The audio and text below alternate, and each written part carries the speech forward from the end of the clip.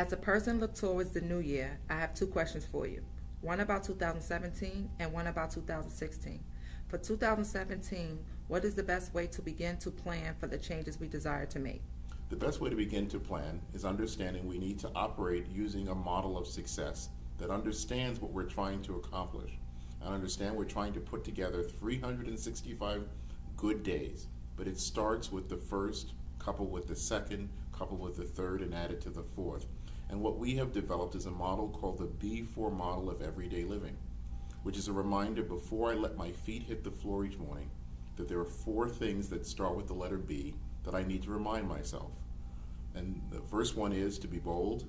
The second one is to believe strongly. The third one is to begin now.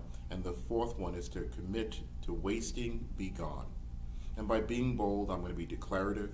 By believing strongly, I'm going to have commitment. By beginning now, a sense of urgency. And wasting, be gone, I'm committing to bleeding no more.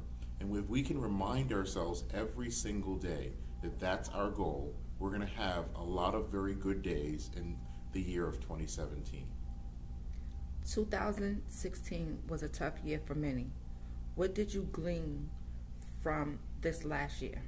I gleaned that change is constant and it's the only thing that is constant in our lives, and that we need to make sure that we understand that change should not be the boss of us, that we should be the boss of change and manage to that, understanding that life is asking us the question are we committed? Are we ready? Do we really want this? Um, and understanding that uh, change is, is uh, found in how we listen to music. You know, back in the day we had, you know, CDs, and now we have MP3 players. CDs, often you had to be in a building, you had to sit down and you had to listen to it, but now the music follows you and it goes wherever you are. And I think life is trying to tell us is that you are important. It's not so much the things we have, it's the person that you are. And so if we can remember that change is trying to remind us that you're here on this earth to do something special, you need to figure out what that is and allow whatever music your life is supposed to play, allow for that music to begin now.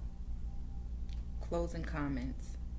My closing comments is for us to remember there are three things is to live, to love, and to be loyal.